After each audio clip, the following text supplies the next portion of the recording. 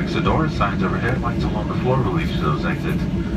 Safety information card can be found in the seat back pocket in front of you. Take note of noticing event of a water evacuation. Use the life vest located underneath your seat.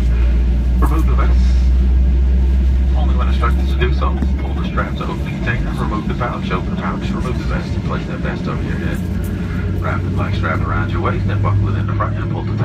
Once inside the aircraft to inflate the vest, pull down on the red tab to manually inflate, blow onto the tube your shoulder. Flight attendants are going to be passing by check your seatbelts are fastened, seat backs and tray tables in the full upright and lock position. Any carry-on any carry-on items your bottom board still not released. Your mountain feet is clear. Smoking uh, not allowed on board today. Federal law